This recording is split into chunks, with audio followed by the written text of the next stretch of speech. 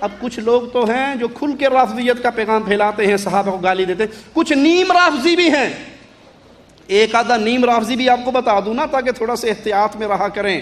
ہر کسی کو یوٹیوب پہ دیکھ کے سننا نا شروع کر دیا کریں گے، یہ بہت شیخ ہے، یہ بخاری ہے مسلم ہاتھ میں لے کے بیٹھتا ہے۔ کئی تو رافضی ہیں اور جہاں رافضیت کا زور نہیں چلتا، پھر رافضی نیم رافضیوں کو پیدا کرتے ہیں کہ تم جا کے اسحاق جھال والے مردود کی طرح نیم رافضی پیدا ہوتے ہیں۔ اور اس کے مرنے کے بعد آج موجودہ دور میں جہلم کا انجینئر مرزا محمد علی نیم رافضی ہے، دشمن ہے صحابہ کا بھوکتا ہے صحابہ کے خلاف۔ آؤ آؤ، میں دلیل کا قائل، دلیل دینے کا عادی ہوں، بغیر دلیل کے بات نہیں کیا کرتا۔ یہ انجینئر مرزا محمد علی مجرم صحابہ کو گالیاں دیتے ہوئے ایک روایت بیان کرتا ہے، سنیے کہ سیدنا عمر، مرزا جہلمی کے جملے سنیے۔ سیدنا عمر کسی صحابی کا جنازہ نہیں پڑھتے تھے۔ جب تک حذیفہ بن یمان کو دیکھ نہ لے، اگر حذیفہ بن یمان جنازہ پڑھتے تو سیدنا عمر جنازہ پڑھ لیتے وگرنہ کسی صحابی کا سیدنا عمر جنازہ نہ پڑھتے کہ کہیں یہ منافقین میں سے شامل نہ ہو۔ انا للہ و انا الیہ راجعون۔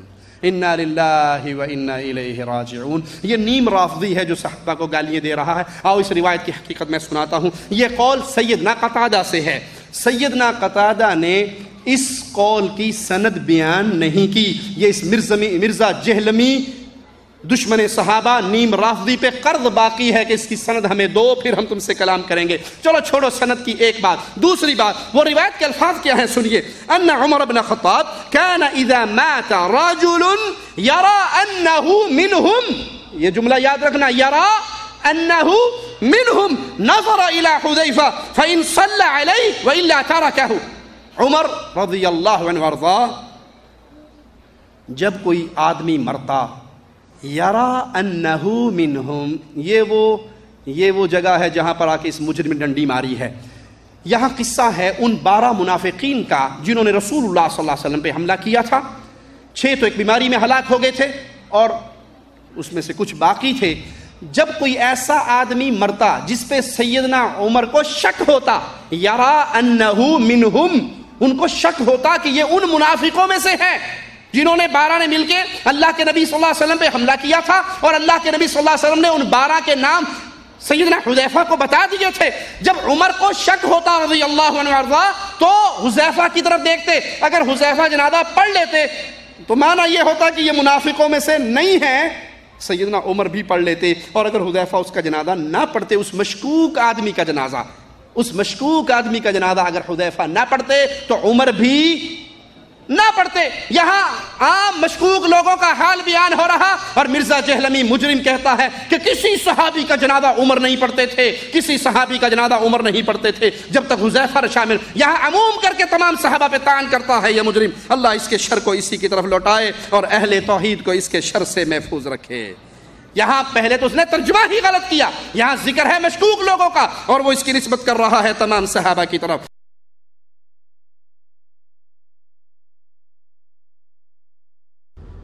میں نے کہا تھا کہ ایک روایت، آپ ظاہر تاریخی روایتیں جو سپورٹیو ہوتی ہیں اس طرح کے واقعات کو، ان کا تو ویٹج بہت کم ہے۔ انٹینسٹی کے پوائنٹ آف ویو سے۔ اس کو اگر کوئی بیان کرتا ہے، کوئی مسئلہ نہیں ہے۔ یہ جو حدیث مسلم کی ہے، اس، یہ حدیث ابو دعود میں بھی ہے۔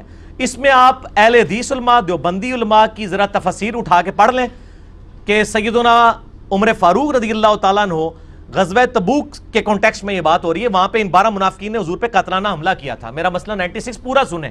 اس میں میں نے قاتلانہ حملے کے بعد بتایا ہے کہ حضرت عمر فاروق رضی اللہ تعالیٰ عنہ جنازہ نہیں پڑھتے تھے۔ مراد یہ کہ ظاہر ہے کہ انہی لوگوں کا۔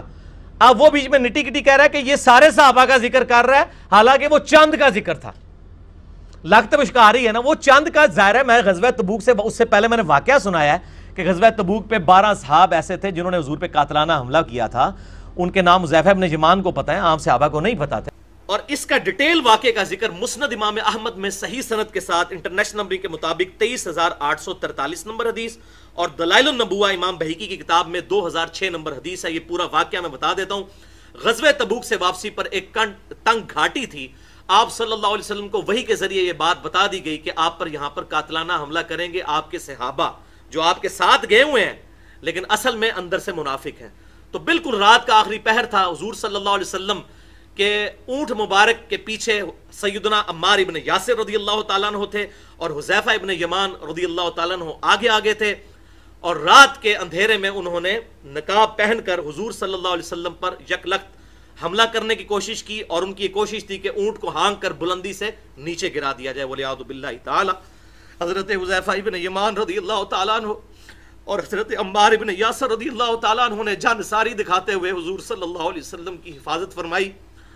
اور پھر حضور صلی اللہ علیہ وسلم نے حضرت حذیفہ سے کہا کہ حذیفہ میں تجھے بتا دوں، یہ منافقین کون ہے لیکن میرا یہ راز اپنے پاس رکھنا۔ حضور صلی اللہ علیہ وسلم نے پھر ان بارہ منافقین کے نام حضرت حذیفہ ابن یمان کو اس موقع پر ارشاد فرمائے اور وہ پوری زندگی ان کے سینے میں راز کے طور پر رہے۔ حتیٰ کہ حضرت عمر فاروق رضی اللہ تعالیٰ عنہ کسی صحابی کا جنازہ ہی نہیں پڑھتے تھے، جس جنازے میں حضرت حذیفہ ابن یمان شریک نہ ہو، کہ کہیں یہ منافق ہی نہ ہو۔ تو اس طرح کے لوگ بھی حضور صلی اللہ علیہ وسلم کے ساتھیوں کے اندر موجود تھے۔ بہرل جانسار بھی موجود تھے، حضرت عمار ابن یاسر اور حذیفہ ابن یمان رضی اللہ تعالیٰ عنہ جیسے لوگ اللہ تعالیٰ ان کی قبر کو نور سے بھرے اور ان کو آپ صلی اللہ علیہ وسلم کے ساتھ یہ جانساری دکھانے کے اوپر اجر عظیم عطا فرمائے۔ اب رہا بھائیو باقی صحابہ کرام کا معاملہ، جو سابقون الاولون ہیں، سیدنا ابو بکر، سیدنا عمر، سیدنا عثمان، سیدنا علی، سیدنا طلحہ، سیدنا زبیر، سیدنا ابو عبیدہ ابن جرہ، سیدنا عبد الرحمن بن عوف، سعد ابن ابی وقاص رضی اللہ عنہ مجمعین یہ تو حضور کے ساتھ شروع سے ہی جانسار تھے۔ ان کی مکی دور کی تیرہ سالہ خدمات سامنے تھیں۔ اگر زندگی میں کسی ایک موقع پر کسی سے کوئی چھوٹی سی غلطی ہو جائے تو اس کی پوری زندگی زیرو سے ملٹی پلائی نہیں ہو جاتی۔ اس طرح کی کئی غلطیاں تو تمام سے تھوڑی بہت ہوئیں، لیکن وہ اس لیول کی نہیں تھی، معاذ اللہ، استغفر اللہ کے ان میں منافقت تھی۔